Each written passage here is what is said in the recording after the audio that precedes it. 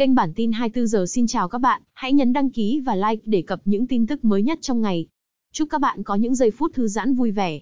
Tiết lộ gây sốc về thói vô kỷ luật của đội tuyển Pháp.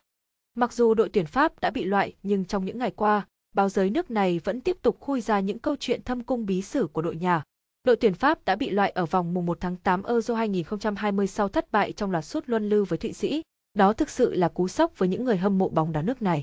Giới truyền thông của xứ sở Lục Lăng cũng liên tục tấn công đội nhà khi khui ra những câu chuyện thâm cung bí sử.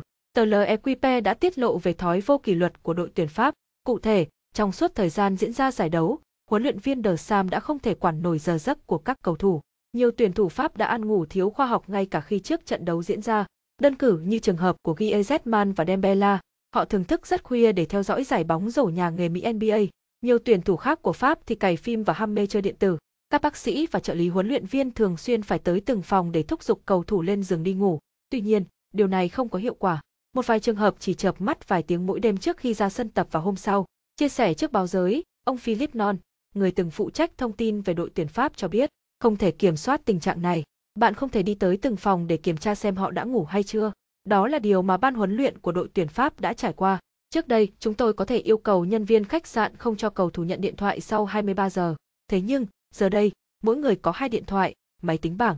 Do đó, chúng tôi không thể làm gì được. Huấn luyện viên thể lực của đội tuyển Pháp Xavier Zeza cho biết, mặc dù bạn có thể vẽ ra nhiều kế hoạch để tăng cường thể lực nhưng giấc ngủ vẫn là quan trọng nhất.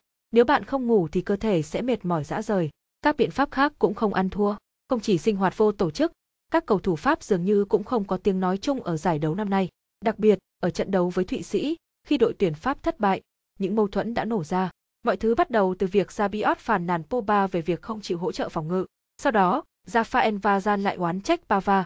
Tuy nhiên, Pava lại đùn đẩy trách nhiệm cho Pogba vì không tham gia phòng ngự. Cũng theo tờ L'Equipe, nội bộ của đội tuyển Pháp đã dạn nứt từ trước đó, khi Bappe có mâu thuẫn với Giroud. Ngay cả khi Giroud đã chủ động xin lỗi nhưng Bappe vẫn không chấp nhận. Lúc ấy, đội tuyển Pháp đã chia phe. Một vài cựu binh của đội tuyển Pháp như Steve Manzanza, Hugo Lloris và Musa Sissoko đã không hài lòng với thái độ trẻ con của Bappe với đàn anh. Ngay cả các phụ huynh các cầu thủ cũng mâu thuẫn. Trong trận đấu giữa Pháp và Thụy Sĩ, cánh phóng viên đã bắt gặp hình ảnh mẹ của Rabiot. Bà Ve Jonique đã cãi nhau nảy lửa trên khán đài với người nhà của Pogba. Họ đều đổ lỗi cho rằng hai cầu thủ này chính là nguyên nhân dẫn tới thất bại của đội tuyển Pháp. Tương lai của huấn luyện viên De Sam đang thực sự bị nghi ngờ sau khi đội tuyển Pháp bị loại sớm khỏi Euro 2020. Trong thời gian tới, Liên đoàn bóng đá Pháp sẽ nhóm họp để đưa ra quyết định về tương lai của huấn luyện viên này. Trong thời gian qua, có tin huấn luyện viên Zidane có thể lên tiếp quản đội tuyển Pháp thay thế huấn luyện viên De Sam. Mặc dù vậy, ở thời điểm này cũng có không ít ý kiến ủng hộ huấn luyện viên De Sam tiếp tục dẫn dắt đội tuyển Pháp ở World Cup 2022. Có lẽ, thất bại ở Euro 2020 là cú tát đủ mạnh để đội tuyển Pháp trở lại mặt đất. Họ cần nhìn nhận lại điểm yếu của mình, phần lớn tới từ sự mất đoàn kết để sớm trở lại với vị thế vốn có.